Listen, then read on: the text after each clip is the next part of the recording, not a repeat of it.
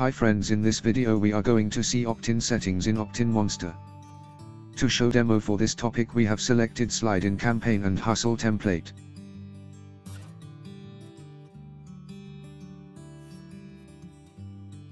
Go to opt-in settings. Next choose opt-in view styles. Let we see the solid background style. By using background color option we can set our desired solid background color. Let we see the gradient background style.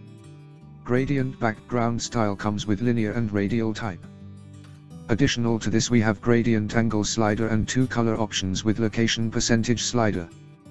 While we moving or increasing the gradient angle slider we can see the two colors are rotating in clockwise direction. In general linear gradient is a progressive transition between two or more colors along a straight line. In general radial gradient is a progressive transition between two or more colors that radiate from center point or origin. Here at OptinMonster we have two color options. Let we change first gradient color. Let we change second gradient color.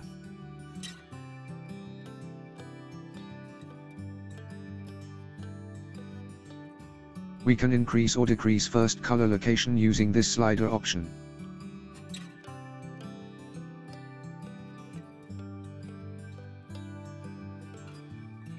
We can increase or decrease second color location using this slider option.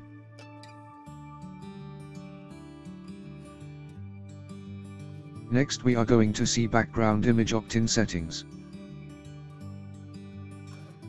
Click upload image option and add an image.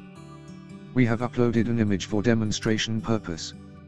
And this image can be used as background for the opt-in. Let we see the background position one by one.